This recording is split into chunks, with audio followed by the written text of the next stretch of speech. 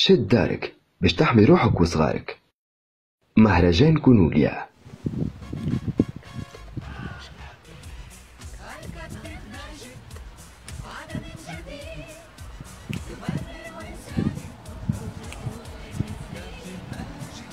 يا أخي شكونه كابتن ماجد هذايا. هذايا صور متحركة كنا نتفرجوا فيه في التسعينات. اسمه كابتن ماجد كانوا برشا برشا صور متحركة مزيانين نتبعوا فيهم. كيما فما ريمي آه، فما آه، موكا موكا. فما حاسيلو برشا برشا برشا. هكا موجودين déjà على الانترنت. نجم تفرج فيهم انت. آه باهي. ملا جو تو نشوفهم على الانترنت. عسلامة عسلامة. أصدقائي وين ما كنتوا كما تشوفوا كنا نسمعوا في الموسيقى أنا وتوتا وعاملين برشا جو كالعادة في الدار. نحنا إن شاء الله أنتم زاد تكونوا في دياركم ومتمتعين وبألف صحة وبألف خير كما ديما.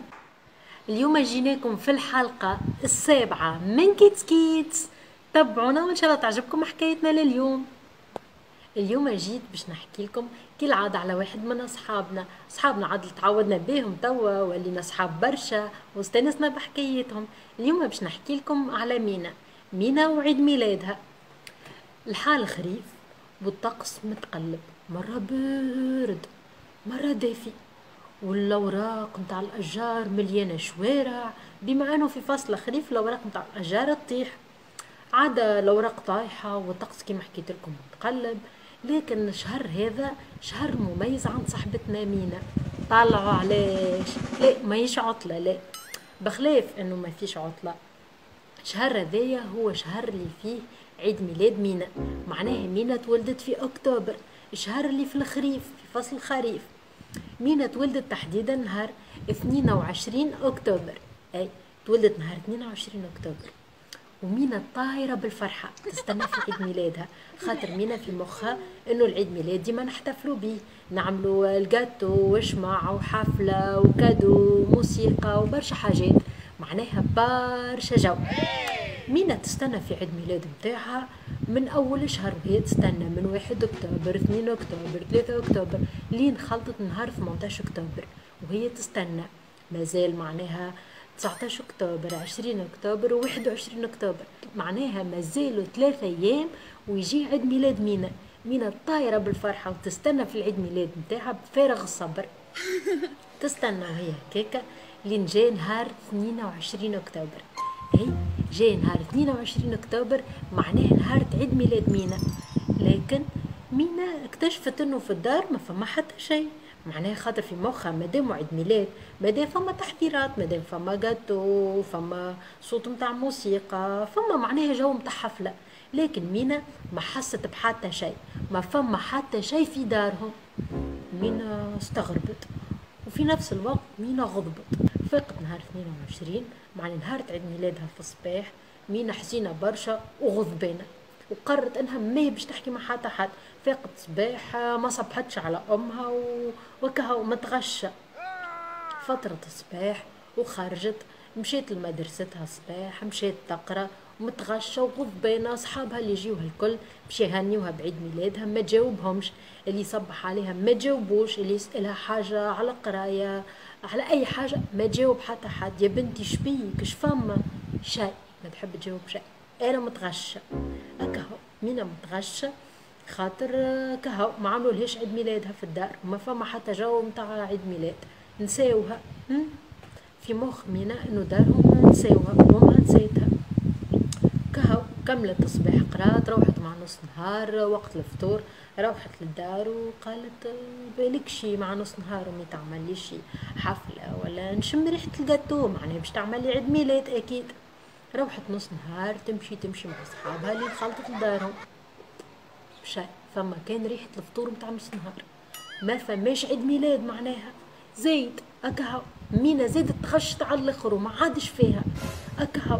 ماهيش باش تحكي مع أمها وما باش تحكي مع حتى حد خاطر نساوها ونساو عيد ميلادها جات ماضي ساعتين مينا كهو رجعت للمدرسة باش تقرأ الحصة متاع العشية. دخلت للقسم وما زلت غضبانة وما تحب تحكي مع حتى حد. حتى وردة صاحبتها ما تحبش تحكي معاها. أي ما تحبش تحكي مع وردة. اعز صديقة عندها. قال شنو؟ نساو عيد ميلادها كاو هي ما تحب تحكي مع حتى حد. وحتى صحابها حتى واحد ما جاب لها هدية. طفيتهم الكل. حتى اللي هنوها بعيد ميلادها زوز ولا ثلاثة كهو ما همش صحابها في الأصل هما. غير هكاك سمعوا اللي هو عيد ميلادها كهو. طفيوها. ما مينا حد ما متذكرها. يا أخي هي قررت إنها باش تغش عليهم الكل وهما وعادش صحابها. دخلت تقرا في الحصة متاع الرياضيات. هي تقرا هكاك وفجأة تنظر وتقص في القسم فهو تقص تلامذة دخلوا بعضهم مش فما مش فما مش فما مش فما ومينا تسأل يا أخي فما وفجأة أم مينا دخلت. أي أم مينا جابت جاتو فيه شمع والشمعة تضوي وأم مينا تغني. عيد ميلاد سعيد. عيد ميلاد سعيد.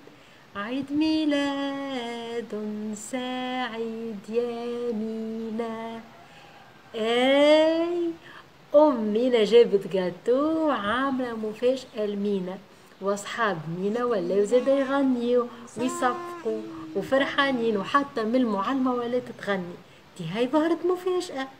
أي أم مينا عندها نهارين من اللي كلمت أصحاب مينا ومعلمتها وقالت لهم راني أنا عاملة مفاجأة لمينا وما حبيتش نقول لها ردوا بالكم تقولوا لها اللي إحنا باش نحتفلوا بعيد ميلادها.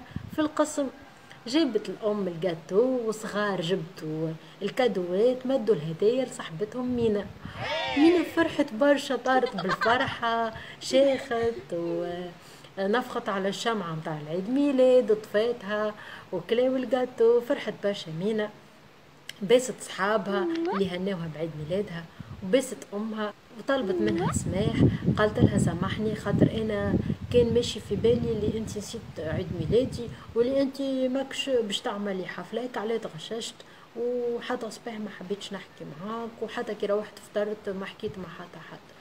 طلبت سماح من صحابها زاده خاطر ماشي في بالها نساوها بما انه كان زوز كهو ولا ثلاثة هناوها بعيد ميلادها وهما أصلا ما همش صحابها برشا برشا معناها يقراو معاها وكهو. وفي العيد ميلاد وروحت من لدارهم شيخة وطايرة بالفرحة وهزة معاها كدواتها الكل لهنا توفى حكايتنا وتوفى حكاية مينا وتعلمنا معنى الأمومة. الأم راهي كائن حنين برشا ولازمنا نقدروه ولازم نحبوه. آه، مهما تكون الأم عمرها ما تنسى صغيرها. لا في عيد ميلاد ولا في أي حاجة تفرحه. وحتى وكان نسيت عيد ميلادك وحتى وكان نسيت حاجات بسيطة تنجم تفرحك ما تنساش إنه أمك هي اللي تلهات بيك في صغرك الكل. وأمك ما تحب لك كان الخير هيك عليه لازمك تقدرها وتحبها. هي وبوك زايدة حتى البو راهو كيف كيف. عمره البو ما يحب الحاجة الخايبة لولده. هذاك عليه لازمنا نقدروهم ونرضيوهم خاطر هما زايدة تعبوا علينا برشا. إن شاء الله تكون حكاية مينا عجبتكم اليوم. وكالعادة تبعونا على صفحة المهرجان صفحة كونوليا. كالعادة أصدقائي تحفوني تنجموا تشاركونا في القصة متاعنا هذيا. تختاروا مشهد عجبكم القصة ترسموه لنا على ال ordinateur ولا على اوراق وتبعثوه لنا في message على الصفحة متاع المهرجان ولا على الصفحة متاعي. إن شاء الله تكون عجبتكم الحكاية ذي وملتقانا الحلقة الجاية من Kids Kids وما تنسيوش ما تخرجوش من الدار. ردوا بالكم تخرجوا من الدار. bye bye bye bye.